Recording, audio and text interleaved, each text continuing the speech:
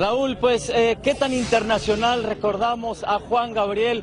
Que sus canciones fueron traducidas a diferentes idiomas y justo de internacional es lo que estamos hablando en este paseo de Hollywood. Nos encontramos en el 7060 de Hollywood Boulevard, para ser precisos, a unas cuadras del Teatro Chino. Y bueno, diferentes estrellas también, como la de Luis Miguel, también se encuentran aquí, de Pepe Aguilar, Antonio Aguilar, que son inclusive sus vecinos. Esta estrella se le hizo entrega en, en un 10 de mayo del 2002 y pues bueno, como pueden ver, gente llegó a dejar todas sus ofrendas, dejaron veladoras, flores, inclusive sus cartas donde ellos personalmente se despiden del Divo de Juárez. Pero nosotros estuvimos haciendo guardia desde anoche justamente aquí y hoy por la mañana también se dejó venir muchísimas personas, vimos diferentes grupos de todas las edades, pero aquí les tenemos el recuento de lo que sucedió anoche aquí en la estrella de Juan Gabriel.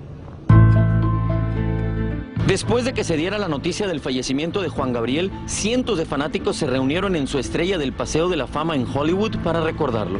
Cuando me di la noticia de que había perdido su vida, para mí fue un dolor. Lo tomo, mi madre murió ahora en febrero y lo tomo casi igual que como mi madre murió, porque yo soy de Michoacán y es un orgullo que sea de Michoacán y pues estamos entristecidos y aquí dándole su este, despedida con lágrimas, con cantos y con diferentes casas, diferentes razas, todos estamos unidos porque Juan Gabriel es único.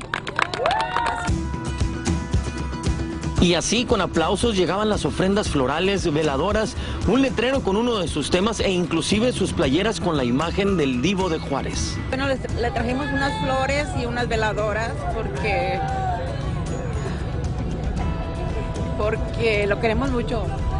Estas flores las hice con mis manos, con mucho amor, mucho cariño, algo que es una tradición en México, las flores de papel. Este fanático estuvo presente el pasado viernes en su presentación y asegura que se le veía agotado. Lo vi cansado, de hecho habían sillas que se puso y de repente se sentaba, se recargaba pocas veces en las bocinas, pero siempre con el entusiasmo.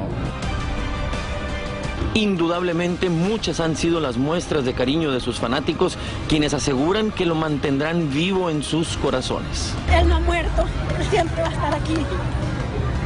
Lo vamos a recordar con mucho, mucho amor.